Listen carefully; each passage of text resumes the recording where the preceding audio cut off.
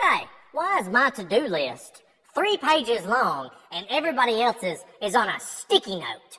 Hey, you know what? Sometimes it just be like that. Okay? Shit rolls downhill, and buddy, let me tell you at the bottom.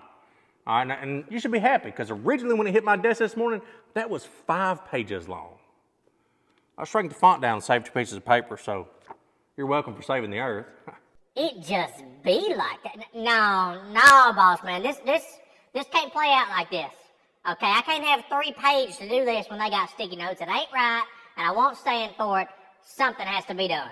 You know what? I, I agree. Something's got to be done.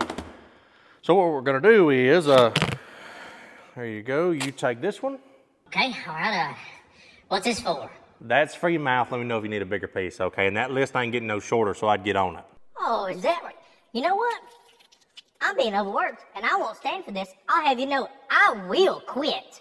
Hey, you know what? And that's your right. You know, you could quit if you think you're being overworked.